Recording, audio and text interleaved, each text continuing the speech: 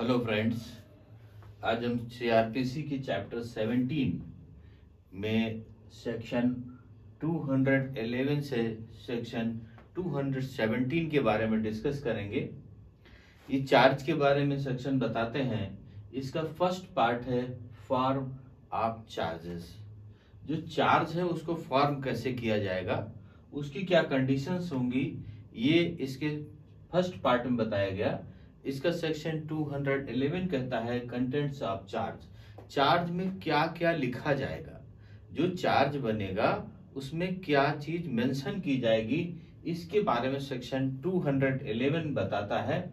इसमें first part first इसका सब क्लास है स्टेट ऑफेंस जो ऑफेंस है, जो आरोप है, उसको परिभाषित किया जाएगा।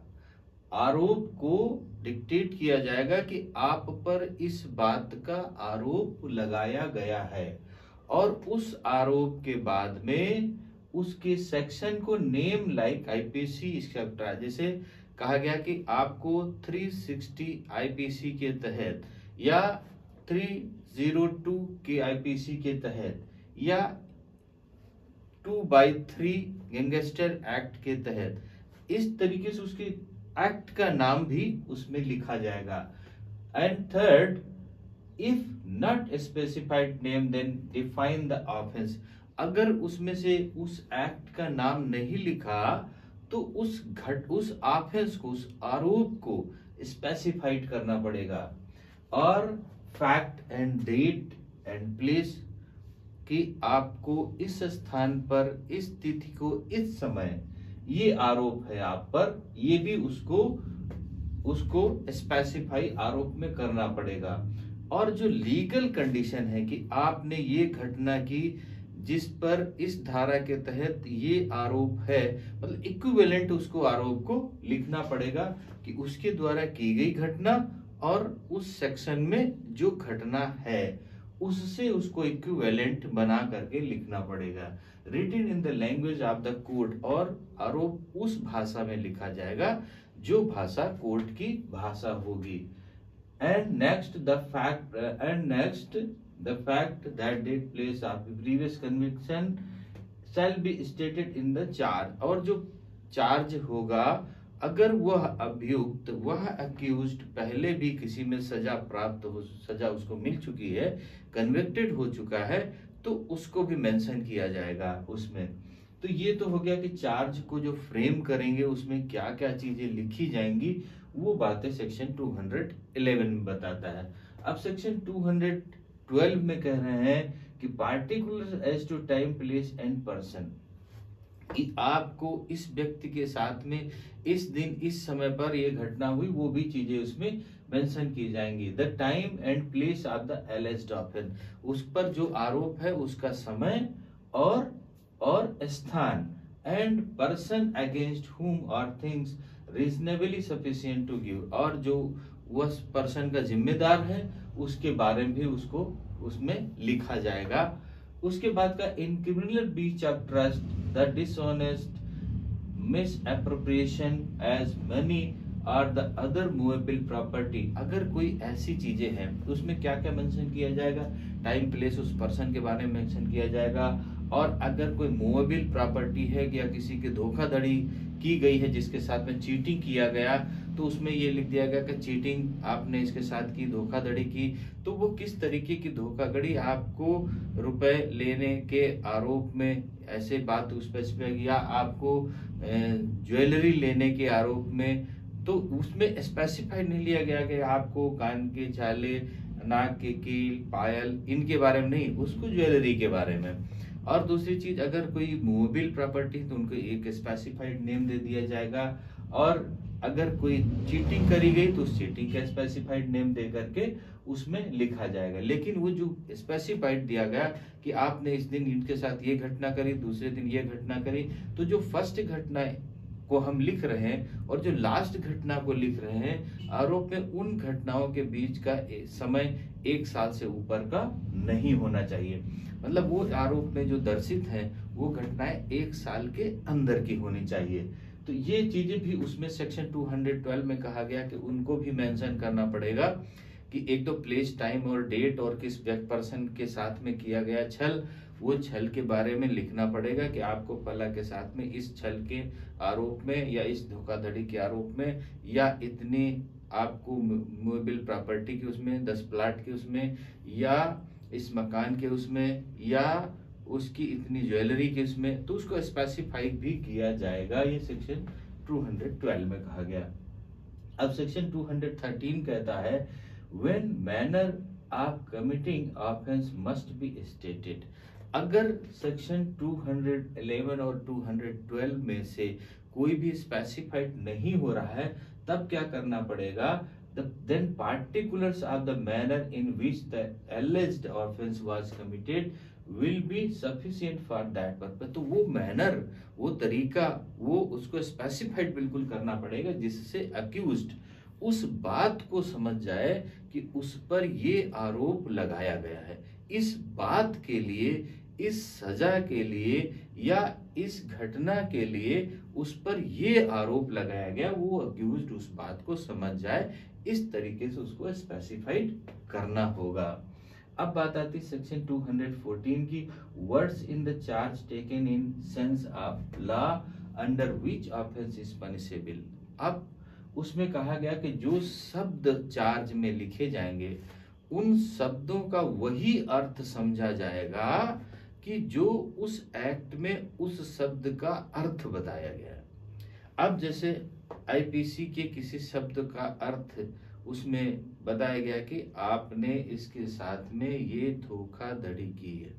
तो जो धोखाधड़ी की परिभाषा आईपीसी में दी गई होगी, उसका मीनिंग धोखाधड़ी का वही समझा जाएगा तो आरोप में जो शब्द लिखे जाएँगे, वो शब्द उस एक्ट में जो उन शब्दों को परिभाषित किया गया, जो उन शब्दों का अर्थ लिखा गया, वो वही अर्थ उसमें समझा जाएगा। ये सेक्शन 214 में कहा गया। अब सेक्शन 215 में आ जाते इफ़ेक्ट ऑफ़ इरर्स अगर चार्ज में कोई इफ़ेक्ट इरर्स आ गया, कोई त्रुटिपूर्ण शब्द लिख गया, तब क्या होगा? इरर्स तब ही तात्विक मानी जाए जो गलती लिखी गई, वो तभी उसको तात्विक मानेंगे मतलब तभी उसको अथेंटिक मानेंगे, जब उस गलती से अक्यूज भुलावे में आ जाए मतलब वो समझ ही ना पाए कि इस शब्द का मीनिंग क्या हो क्या है, और उस शब्द के कारण उसका जो न्याय है, जो उसको जस्टिस मिलना था, वो मिलने में गलती हो जब वो मिलने वाला हो मतलब उसको माफ़ होने वाला हो, लेकिन उसको गलती मिल जाए, या गलती मिलने वाली हो, माफ़ हो जाए, उस शब्द के कारण जिसको वो समझ नहीं पाया, तभी उसको इरर माना जाएगा।